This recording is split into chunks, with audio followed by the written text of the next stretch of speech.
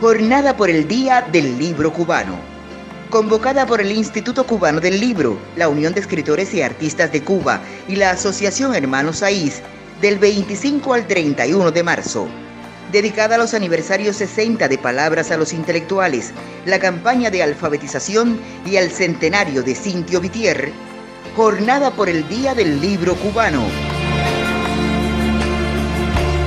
Cuba, un país que lee. Aprovecho esta oportunidad para recomendarle el libro La Red de Araña, que promueve la editorial Cuba Literaria del Instituto Cubano del Libro. Es una novela de corte policíaco, un caso de la CIA, tratando de impedir la entrada de Cuba a la gran red que es Internet. En Cuba Literaria tiene la posibilidad de descargar el libro en formato digital. Espero que le guste.